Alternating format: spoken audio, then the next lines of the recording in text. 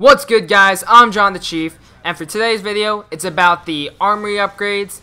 Uh, specifically, this one is about Vulture Extended Duration. Now, this armory upgrade will last 50% longer. So, every Vulture that you throw out will last 50% longer than it previously did. At plus 0 through plus 2, it will last, instead of 35 seconds, it'll be lasting 52.5 seconds, which is exactly 50% longer. Um, then once you have plus 3, the extended duration hits, and what normally, without the upgrade, it will last 50 seconds, will now last 75 seconds. This Vulture is now a lot better because of this upgrade.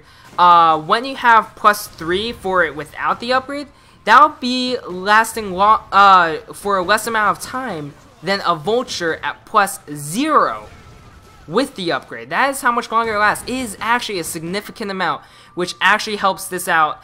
The Vulture, I was not a big fan of this at first, but it actually seems uh, good now because I feel like it can make back your cash. I was more of a Sentry Gun and IMS guy, uh, so this actually kind of makes it different. Vulture actually has a really good use.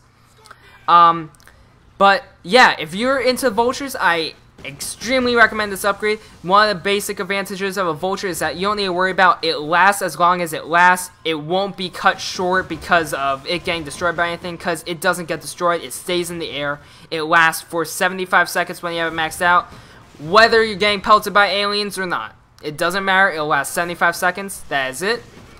Hope you guys enjoy the video and have a great day, guys.